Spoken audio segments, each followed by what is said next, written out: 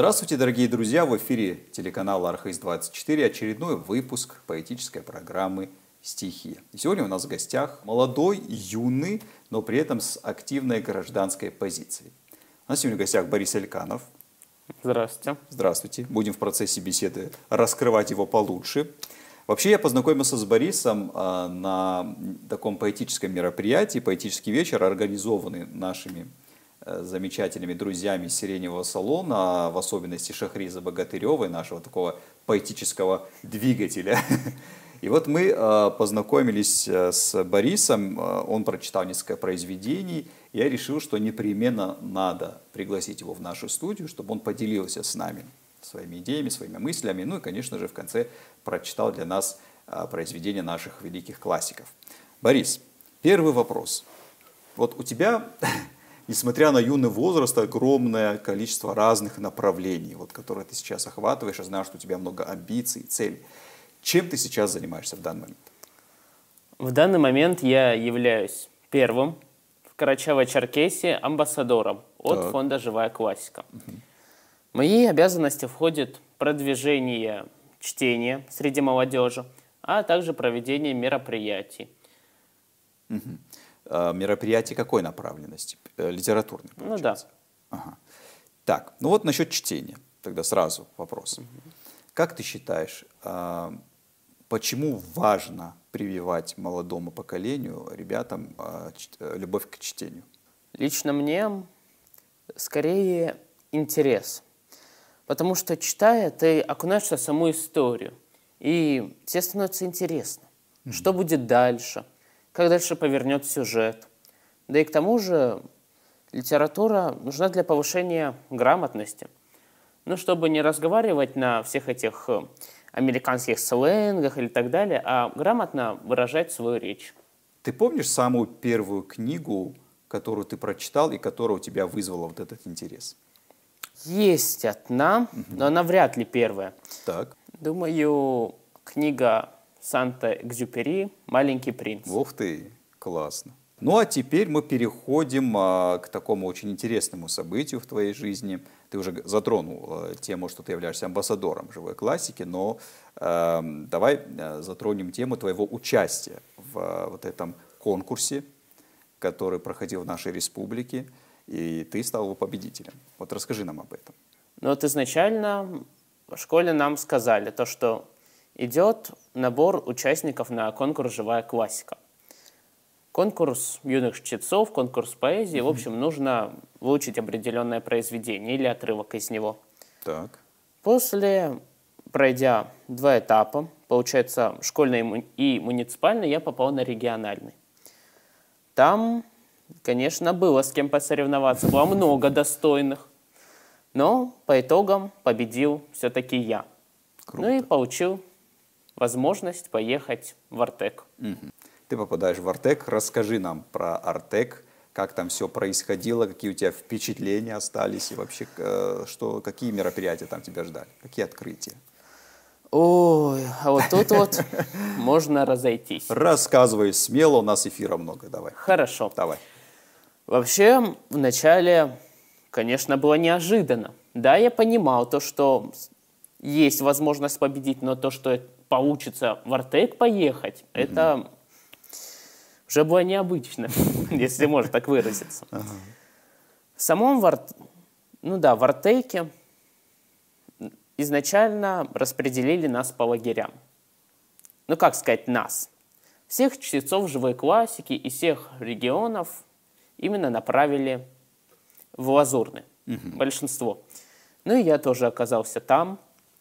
И дальше меня ждал с одной стороны, долгий путь, три недели, 21 день, Ого. но, но да, пролетели они слишком незаметно. Каждый день было что-то новое.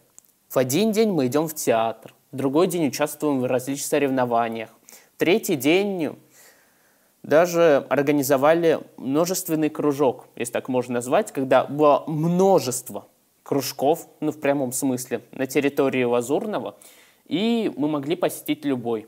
От гончарного мастерства. Очень здорово. До информационных технологий. Также немаловажное, что получилось сделать, это выступить на Артек-арене. Да, конечно, не в качестве чтеца, а в качестве участника хора. Но главное в том, то, что я выступил на арене. И эти ощущения я не могу передать. Вот делайте, что хотите, но не могу. Это необычно. Вот когда ты стоишь на сцене, вокруг горят огни, тысяча людей сидят и смотрят на тебя. Это необыкновенно. Здесь хочется немного вернуться к началу, к истокам. А Я считаю, что эм, и у, у любого творческого человека, вообще у любого человека, который выбирает в жизни определенный путь, на него оказывает влияние кто-то. То есть этот выбор происходит под влиянием чего-то или кого-то. Кто тебя все-таки вдохновил на вот этот путь литературы, путь чтения, декламирования стихов? А, вообще вот, ну кто, на твой взгляд, является твоим а, вдохновителем? На мой взгляд, ну, прежде всего, это моя мама. Но как без этого? Здорово. А также учительница театрального искусства Степанова Надежда Николаевна. Именно она привела мне любовь к театру, к поэзии. А также хотел бы поблагодарить своих классных руководителей Эльканову Светлану Магометовну и Амината Сламовну. И дайте учителя русского языка Ларису Ахмедовну. Как-никак, именно она занималась со мной живой классикой. И благодаря ей я и узнал об этом конкурсе. Театр затронул. Да. Я знаю, что театр это еще одно а, такое направление, которое тебя очень интересует, куда ты стремишься. Вот расскажи об этом, а, каким бы ты хотел бы видеть себя вот в этой театральной сфере? Какие твои мечты? Ну, вопрос интересный, потому что изначально-то и хотел стать актером. Уже потом переключился на ведущего, журналиста. Ну, в общем, кем бы я хотел себя видеть театрально? Да. актером. Ну вот, хотелось бы мне, конечно, и ставить, но я, увы, не сценарист, не режиссер. Да, я могу что-то поставить, какую-то постановку, но скорее еще не дорос до этого. Все впереди, Борис. Да. Я почему-то сом- не сомневаюсь, что у тебя появятся новые направления, новые интересы, потому что э, такие люди, э, они действительно очень активны, ищут всегда что-то новое, чему-то учатся. Поэтому дай бог, чтобы мы увидели у нас, да, да тоже не то, что у нас, на э, московских театральных подмостках э, спектакль по пьесе Бориса Эльканова, режиссера Бориса, Бориса Эльканова в главных ролях Борис Эльканов. Я был бы очень рад, и я бы, глядя на этот спектакль в зале, я бы вспоминал бы вот, вот сегодняшний день, что мы сегодня вот первый раз вот так ты на телевидение пришел, мы с тобой пообщались, познакомились, и у тебя вот такое большое, огромное, светлое будущее. Так, при выборе э, произведений э, для чтения, да, для декламирования на сцене, а каким произведениям ты больше отдаешь предпочтение?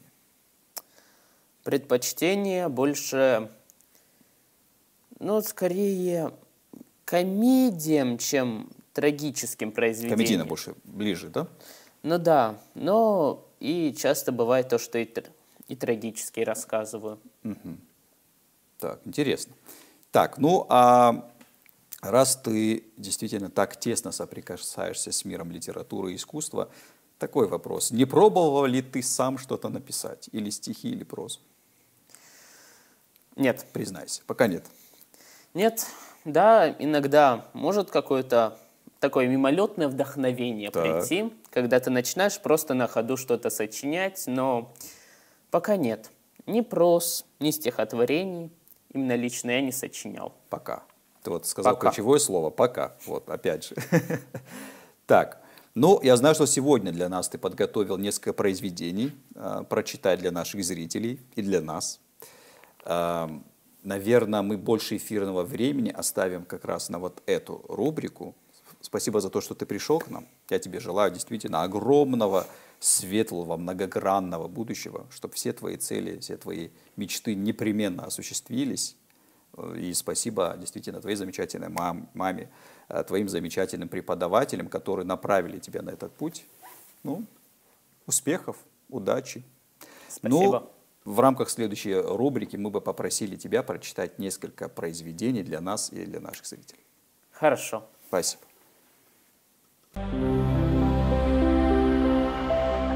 Предвижу все. Вас оскорбит печальное тайное объяснение. Какое горькое презрение ваш гордый взгляд изобразит. Чего хочу? С какой целью открою душу вам свою?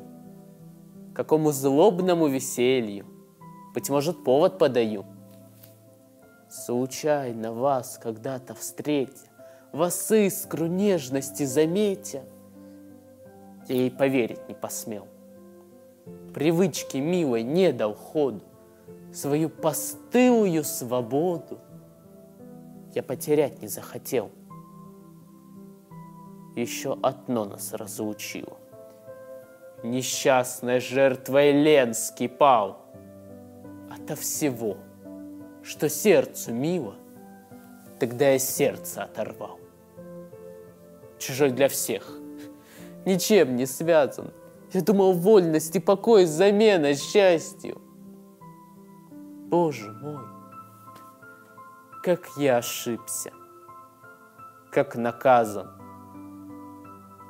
Нет, поминутно видеть вас, повсюду следовать за вами, улыбку уст, движение глаз, ловить влюбленными глазами, внимать вам долго, понимать душой все ваше совершенство, пред вами в муках замирать, бледнеть и гаснуть. Вот блаженство. Но я лишен того для вас. Тащусь повсюду на удачу. Не дорог день, не дорог час, а я в напрасной скуке трачу судьбой отсчитанные дни. И так уж тягостны они. Я знаю, век уж мой измерен, но что продлилась жизнь моя, я утром должен быть уверен, что с вами днем увижусь я. Но пока притворным хладом вооружать и речь, и взор, вести спокойный разговор, смотреть на вас веселым взглядом. Но так и быть. Я сам себе противиться не в силах боли. Все решено. Я в вашей воле и предаюсь моей судьбе. Здесь как будто бы замерло время. В пыльном зеркале угут отражения. Деревянным часам уже в бремя отмерять безучастно мгновение. Волглым духом пропитаны стены. Стекла солнца не рады, как прежде. Половица страдает рефремом. Паутина лишилась надежды. За окном безымянная речка. Вдаль петлица, пылится дорога. Провалились ступени крылечка. Дверью шершатся, челюсть порога. Но не грусти мне день этот полнить. Воскреснет в рядовом интеграле сонный лет светозарностью молний. День на родине в старом квартале.